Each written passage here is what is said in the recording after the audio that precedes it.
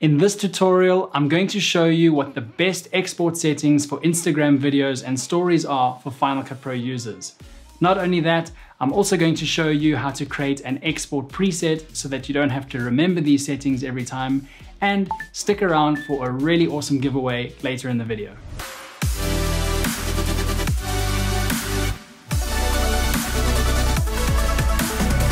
It's important to mention that Instagram is going to compress your videos no matter what you do. Instagram currently hosts the content for roughly 1 billion users, so they're not going to store your videos in 4K ProRes, unfortunately. But if you export your videos for Instagram using this method, you'll have the best chance at having good quality Instagram stories and posts without too much compression. In order to export your videos and stories for Instagram with the best quality, you need to set up your project correctly to begin with. We have a fresh library here and I'm going to hit Command N to create a new project. If you're going to be posting a video on your Instagram feed, then you'll want to use a resolution that maximizes the screen space on mobile devices. To do that, change the video format to custom and set the resolution to 864 by 1080. That's how you'll fill the screen as much as possible for video posts on Instagram. If you're going to be posting an Instagram story, then change the format to vertical and set the resolution to 1080 by 1920. If you have an older version of Final Cut Pro and you don't see this vertical option, then just select custom and enter 1080 by 1920. I'll set the frame rate to 23.98 frames per second because that's the frame rate I shot in, and you can set it to whatever you shot in, but you won't want to go over 30 frames per second. Hit OK and you're ready to create your video or story.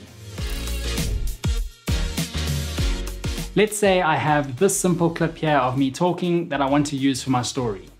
Do you want to learn what the best export settings are for Instagram videos and stories in Final Cut Pro? And do you want to win a cool Instagram story bundle? Hit the link in the bio to learn more. Notice how this clip doesn't completely fill the frame. I can fix that by either scaling it up until it fits, or let me reset this. The easiest way is to head over to the spatial conform section in the inspector window and change the type from fit to full, and my clip will instantly fill the screen. I can adjust the position if necessary, and my video is ready. Or is it? The sponsor for today's video is VFX Nut, and I'm going to use one of the Instagram story templates from their editor's mega bundle to create a much more dynamic Instagram story to post. The editor's mega bundle includes a ton of templates, effects, titles, and transitions that you can use on your projects. The bundle includes a photo display pack, social media overlays, a few different title packs, overlay effects, Instagram story templates, and transitions.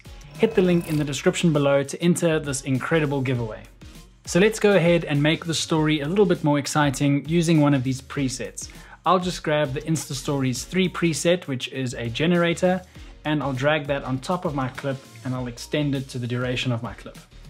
Next, I want to add the clip into this clip well. So what I'm going to do is first create a compound clip using the shortcut Alt G, and I'll just call this story. It's important to make it a compound clip so that it plays back correctly in the generator. I'll select the generator and then I'll go ahead and click on this clip well and I'll select this story compound clip that I've created and I'll hit apply clip. Now if we scrub forward, you can see how it animates in and that's the story. I can go ahead and customize it over here, I'll say best export settings for Instagram. And I want to change the font here. I'll select intro and I'm just going to scale this text down to fit. Let's say about 60% will do. And then I'm going to just reposition this text over to the left. I'll go ahead and change the swipe up text to link in bio. I'll also reposition that and then I can go ahead and I can customize these colors. So for the background color, I can use the color picker. Let's say I want it to be similar to this gray, but a little darker. I can just adjust it here. Then for the box color, I'll go and select a nice dark blue. And for the second text box color, I will make it, let's go with a orangey yellow color. And I'll change the text to color here to black. And this is what the final story looks like. Do you want to learn what the best export settings are for Instagram videos and stories in Final Cut Pro? And do you want to win a cool Instagram story bundle? Hit the link in the bio to learn more. Don't forget to enter the giveaway. It will be open for two weeks and then I'll announce the winners. Also, if you want to go ahead and purchase the Editor's Mega Bundle, the first 20 people to make a purchase will get 80% off. I'll include the details down below, so go ahead and check that out. Now that we have a much better looking story to post to Instagram, let's talk about the export settings. I'll head over to File, Share, and select Add Destination because I want to create the preset for these export settings at the same time. I'll drag the export file option over to the left-hand sidebar and I'll make sure that the format is set to computer. Then I'll set the video codec to H.264 better quality.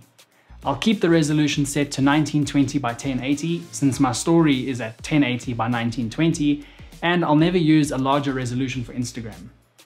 If your timeline is set correctly to 1080 by 1920 or even 864 by 1080 for a video post, then Final Cut Pro will still export at those resolutions as long as you have 1920 by 1080 selected here.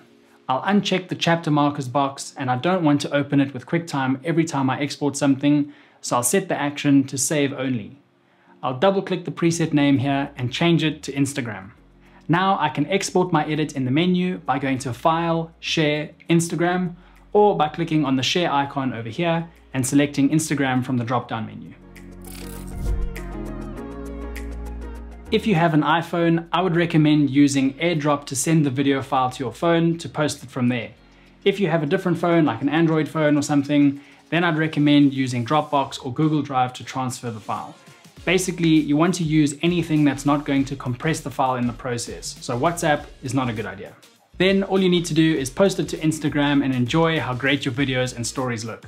If you enjoyed this video, please hit that like button, it really helps the channel out a lot subscribe and hit that notification bell and I'll catch you in the next one.